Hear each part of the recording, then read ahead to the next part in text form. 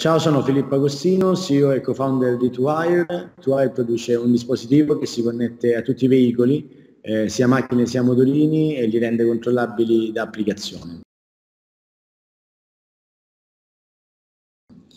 Eh, il prodotto che noi sviluppiamo è un prodotto IoT, è un strumento plug and play che si attacca alla porta OBD del veicolo che sta sotto il volante e permette quindi di trasformare tutti i veicoli in macchine connesse. Questo prodotto eh, si installa in meno di 10 secondi e riesce sia ad attivare funzionalità in, eh, attive sia quelle passive, quindi riusciamo ad interagire con il veicolo, quindi apertura porte, chiusura porte, eh, blocco motore e anche a leggere tutti i parametri dalle centraline dei veicoli.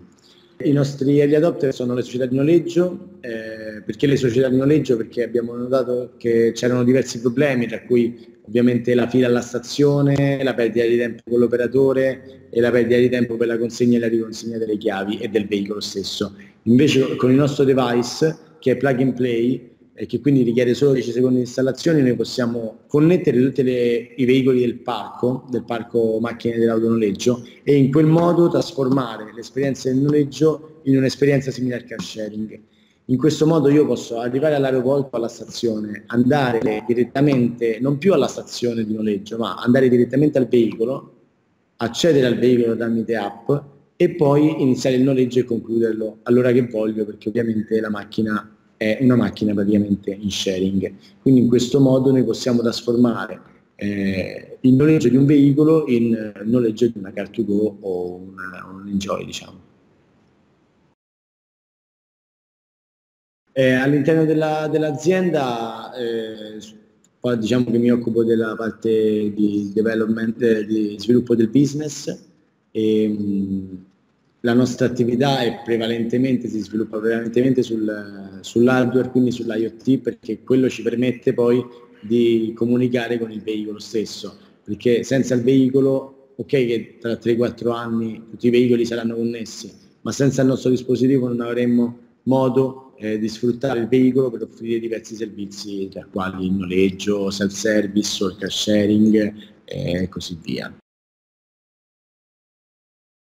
Le tipologie di clientela mm, su cui, diciamo, a cui offriamo il servizio sono eh, clientela diciamo, business, eh, sono delle aziende, quindi noi siamo più B2B e offriamo la, la, soluzione a società di noleggio, a società che fanno car sharing e scooter sharing e eh, per soluzioni che comprendono analisi di dati avanzati, diciamo, telemetria avanzata.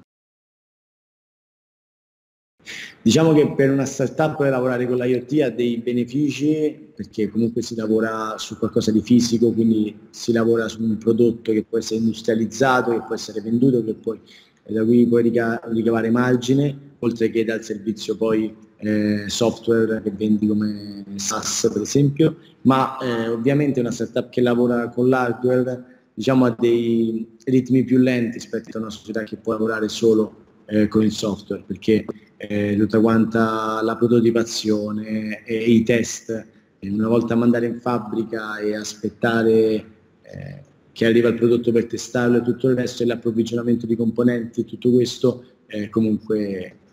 diciamo, aumenta eh, l'attesa, aumenta il tempo di produzione, quindi diciamo che rallenta un po', non è facile fare hardware e servono anche parecchi soldi per eh, fare una bella produzione, dei bei eh, con il magazzino e tutto il resto.